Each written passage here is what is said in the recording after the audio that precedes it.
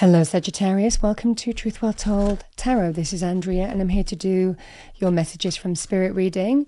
This will be for May 2022 for the sign of Sagittarius, Sun, Moon, Rising in Venus. So I hope you're well. Let's see what we have for you. Remember, these are mainly messages, and they won't be for everyone. Just take what resonates with you as always. So we start with synchronicity.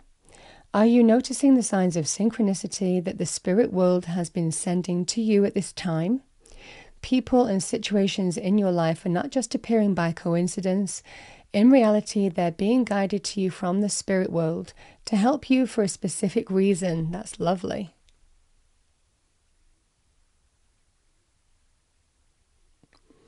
That is the first message for you. Let's pull a message from Archangel Michael. What do we have for Sagittarius, please? Angel Spirits Guide, that turned over. Use your imagination and you'll see the answer. Dear God, thank you for granting me the wisdom and creativity to see your miracles in the new and in new and unexpected ways. I gratefully and gracefully accept and appreciate your help.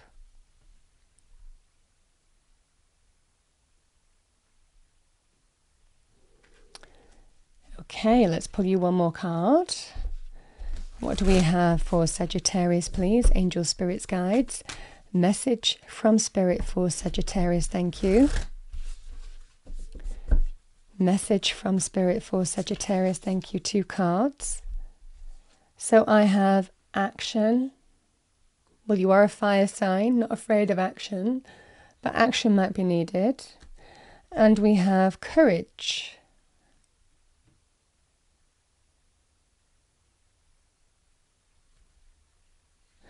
Courage is the strength to face things that are difficult to face.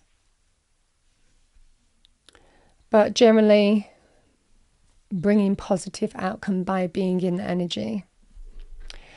Okay, Sagittarius, let's see what we have for you. Message for our lovely Sagittarius, thank you. Angel Spirits Guides for May 2022. What's the message from Spirit? Message from Spirit. We have the Eight of Swords, the Ten of Swords, Six of Swords, bottom of the deck we have the Star.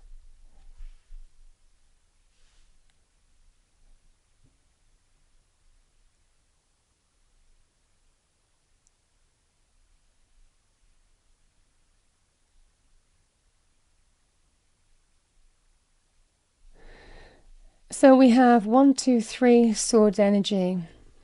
The swords can be to do with our mindset, uh, very good in terms of truth, clarity, thoughts, how we perceive things, how we perceive situations, thinking, thought processes, that kind of thing, Sagittarius. Can also be to do with communication as well.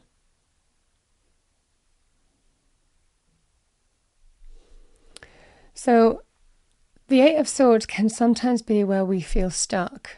Now, our mind can keep us stuck in our external reality, the way we see something, the way we perceive things.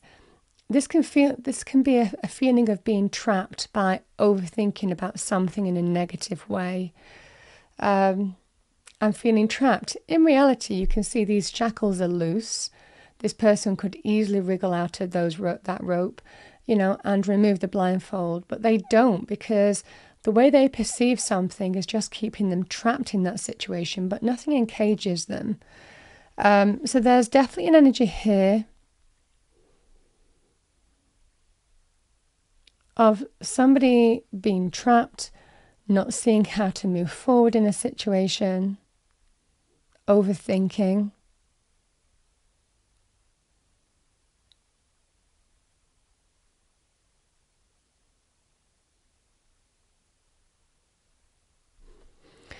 We have the Ten of Swords. So the Ten of Swords is really the culmination of that card. So this can be a card of painful endings. Sometimes it can be to do with loss, um, experiencing a loss of somebody, potentially, and feeling trapped in terms of how to move forward, the challenges of moving forward. This can also be a card of betrayal, being stabbed in the back, deeply wounded, deeply hurt, uh, scapegoated, thrown under the bus. You know, uh, it's not an easy energy. However, it is a 10, which represents it's the completion of that situation. And now there is the new sun dawning in the distance, pushing away the dark clouds. And there's a new sense of optimism available, even though something has been challenging and difficult. There's a, a sign from spirit that that's the end of the situation now. And there is new optimism lighting up around you to embrace.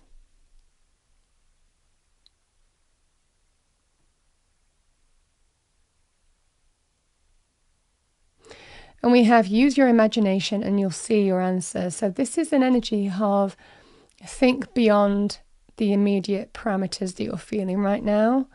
It it certainly feels, I mean, if you've lost somebody here, Sagittarius, and the, there's difficulty in terms of moving on from that, this is the energy of it will take courage,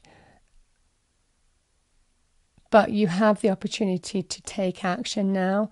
The signs might be leading you in a specific direction as well. Because if this is to do with loss, the Six of Swords is healing, moving on from what was difficult and embracing more positive and optimistic times ahead. It doesn't mean that you're going to be at the end game straight away, there's still a way to go. But in this energy, appreciating fully that you're slowly but surely moving on from the source of the issue, but not fully at the end yet. You're going to have good days and bad days if it is to do with losing somebody. However, there is new optimism coming your way, and I feel that you're being guided. Again, the star energy is a card of new hopes, new dreams, new wishes, new wishes to be fulfilled. It does represent wish fulfillment and blessings in the sense that it's almost like, you know, you're aligning to a path where there's new hope. The star comes after the tower in the major arcana. And the tower can represent significant life changing energy or in an area of your life. So, for some of you, this could be to do with grief or accepting grief and moving on from that. But there is absolutely new hope, but there is blind faith that's needed on this path trusting, surrendering, and actually embracing the possibility of new optimism, but fully understanding that you won't be at the end game yet. There's definitely an energy here of there will be a way to go. You'll have good days and bad days, but slowly but surely, the good days will outweigh the bad days. And you move to a sense of new optimism and hope and new purpose and new pathways. It just feels like there's a real blessing for that reason here. That's the strongest message that's coming through for me. Now, like I said, this can also be, you know, having experienced that betrayal or being stabbed on the back, um, scapegoated in some way. I mean, this could be money, career, finances. It could be to do with, you know, love, romance, relationships here. But the same message applies in the sense that even though you're having difficulty moving forward, I feel in this sense there's new optimism coming your way and putting difficulty behind you. And yeah, there's still going to be, you know, good days and bad days. But slowly but surely, the good outweighs the bad, and you move to this sense of new hope and optimism because it's been given to you by Spirit. It's almost like Spirit is telling you this is the right path, the right the right direction to take now where maybe some changes happened in your circumstances that was painful. And again, this could be painful endings as well. This is the energy of embracing a new sense of optimism and uplifting energy, coming to that fi- uh, that feeling of acceptance, and where things are beginning to open up for you again. You're beginning to find new dreams, new hopes, new wishes. But it just takes blind faith sometimes to trust that now is the time to move in a specific direction, to embrace to embrace new hope. That's the energy here because it is saying that it's here for you. New hope, new optimism, new dream is here for you. So there's something to be manifested here. The star is a card of wish fulfillment, but sometimes requires that energy of just blind faith. It's, it's a beautiful message, acknowledging fully that these energies aren't easy, but this card is so lovely. It's a sense of renewal. Uh, renewal, acceptance, embracing new dreams. That is the energy I have. It's an energy of dare to dream again, which this person is finding difficult to do for whatever reason. But there's definitely an energy of dare to dream because there's a new dream here to be fulfilled. I mean, if this was to do with, like I like I said, it could be money, career, job loss, or changes, or something you know challenging that happened in your career. This is an energy of a new hope, a new dream is opening up for you, and is beginning to look very optimistic.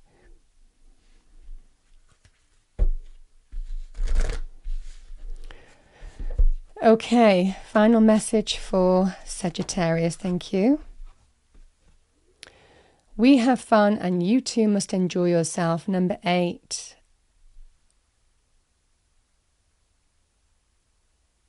Sometimes just allowing ourselves, especially in this kind of serious energy, um, to just have fun for the hell of it and just say the situation is what it is but just for five minutes or, you know, half a day, a day, an hour, call it what you will, just allowing yourself to have fun does actually change your energy.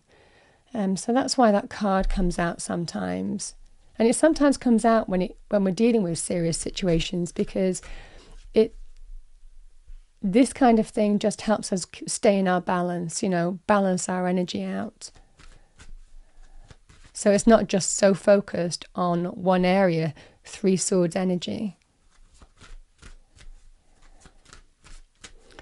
Okay. Yeah, problems that have held you back are being cleared. We are monitoring it. Number 31. Yeah, there's release here. There's release here. I'm going to pull you a little card as well. I didn't do it before, so I'm going to do that now for you. What do we have for Sagittarius as a message? Thank you. Sunset. Time here turns to release and unfurl. Old cords of pain fade as the sun's light burns. Oh my goodness, that is what I'm talking about. New light.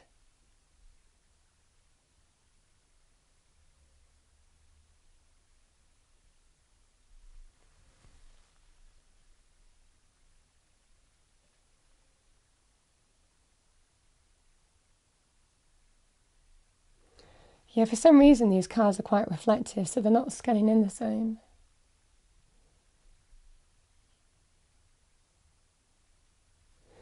That's what I have for you, Sagittarius.